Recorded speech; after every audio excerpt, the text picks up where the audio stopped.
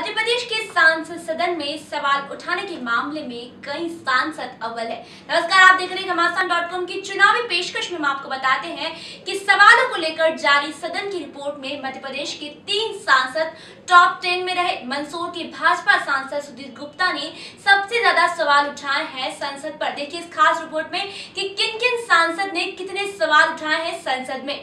सांसदों की विस्तार पूर्वक रिपोर्ट कुछ इस प्रकार है। सुधीर गुप्ता भाजपा पार्टी से छह सौ निन्यानवे, ज्योतिरादित्य सिंधिया गुना से कांग्रेस पार्टी के छह सौ अड़तालीस, वीरेंद्र कुमार टीकमगढ़ से भाजपा पार्टी के तीन सौ इक्यावन रोड बडल नागर राजगढ़ से भाजपा पार्टी के तीन सौ तैतीस, प्रहलाद सिंह पटेल दमोह से भाजपा पार्टी के तीन सौ बत्तीस, गणेश सिंह सतना भाजपा पार्टी से तीन सौ एक, आलोक संजर भोपाल से भाजपा के दो सौ अंठानवे, लक्ष्मीनारायण यादव सागर से भाजपा पार्टी के दो सौ सैंतीस, रीति पाठक सीधी भाजपा पार्टी से दो सौ सोलह, अनूप मिश्रा मुरैना से भाजपा पार्टी के 208, ज्योति धुर्वे बैतूल से भाजपा पार्टी के एक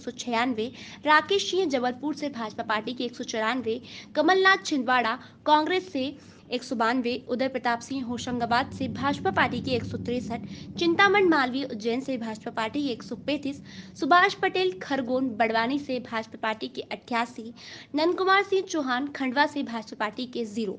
सदन में पहुँचने में भी नंद कुमार सिंह चौहान सबसे पीछे रहे।